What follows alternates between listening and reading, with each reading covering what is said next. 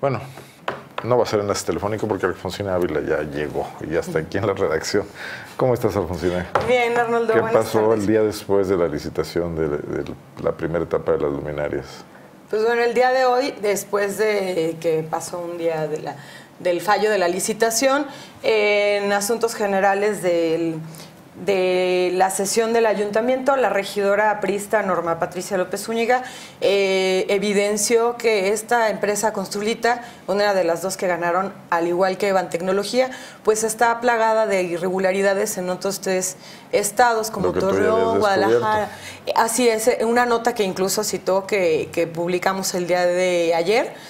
Y bueno, ante esto eh, también evidenció que pues no hay miembros del, del cabildo de oposición en la integración del comité técnico del fallo para el fallo. La obra más importante y debería tener algo de transparencia. La presencia de la oposición no tendría por qué estorbarles. Así es. Entonces ya, ya hubo una modificación para que uno de los integrantes de la oposición pueda ser parte de este comité de, de fallo en las obras públicas municipales.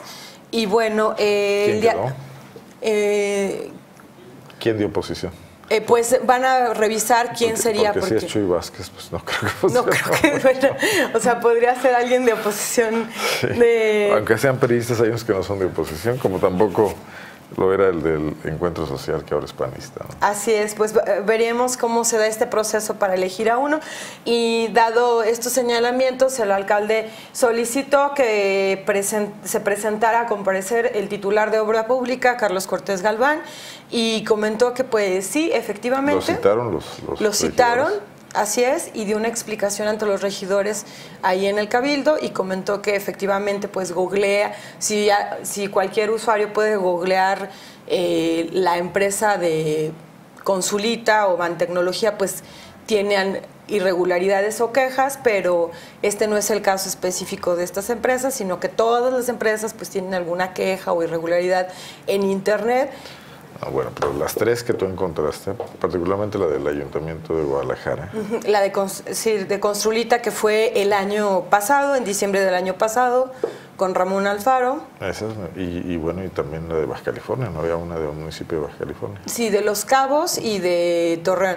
En este caso, pues él comenta que no tienen ninguna, eh, no están boletinadas, tampoco tienen una sanción ante eh, una página, un portal oficial, por lo que pues para, para el municipio ese tipo de observaciones no son pues pues ningún impedimento. Sí, porque las cosas están en progreso. Así Cuando es. las tengan puede llegar a ser demasiado tarde, pero bueno. Y bueno, mañana para revisar este tema va a ir una comisión especial a Guadalajara para ver cómo están las luminarias allá en Guadalajara y qué tal el desempeño de Construlita. En caso de que Construlita no, no dé un, un, fallo, bueno, no tenga ningún papel, sí se le podría rescindir el contrato. En tanto, pues seguir el proceso normal. Muy bien. Bueno, ¿cuándo, ¿cuándo deberían ocurrir las cosas? ¿Nadie se inconformó? ¿Todo está normal? No, sí, muchos se inconformaron. Pero eh, no, no ante la Contraloría. Todavía, todavía seguirá. Mañana hay una comisión de obra pública, particularmente. Eh, el síndico Carlos Medina dijo que mañana va a ser puntuales precisiones respecto al tema. Hoy no quiso adelantar absolutamente nada, pero sí. a Carlos Medina le gusta ser espectacular.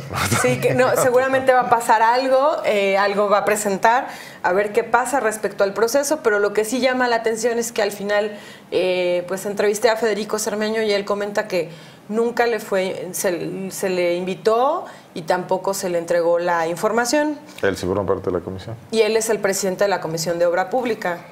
Sin embargo, dijo que va, va a dar el voto de confianza y va pero va a revisar puntualmente que el contrato se, se lleve a cabo. Muy bien. Bueno, pues entonces esto sigue y además es la primera etapa, habrá otras etapas más. Así es, siguen dos etapas. Y es el proyecto más. ambicioso, el alcalde dice que con la iluminación de la ciudad va a bajar la inseguridad, ojalá sea cierto, ojalá se complemente con otras medidas y ojalá la, la iluminación de veras funcione. Así es, porque bueno, en el caso del regidor Sergio Contreras, él preguntó, le preguntó a Carlos Cortés que cómo que cuánto se iba a dar en este ahorro y Carlos Cortés le contó que, que sería casi de 60 millones para el 2019. ¿no?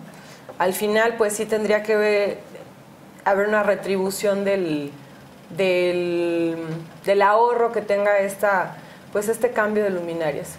Muy bien. Alfonsina, muchas gracias. No, gracias a ti, Arnoldo. Hasta aquí la información el día de hoy. Muchas gracias por acompañarnos. Mañana